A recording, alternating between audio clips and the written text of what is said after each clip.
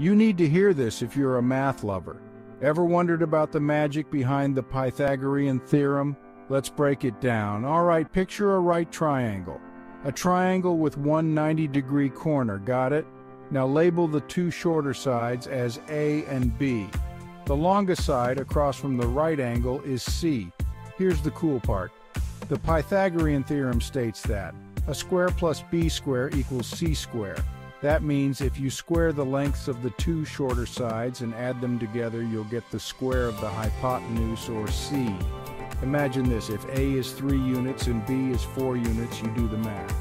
3 square plus 4 square equals 9 plus 16, which totals 25. So c squared is 25. The square root of 25 is 5, so c is 5 units long. Simple, right?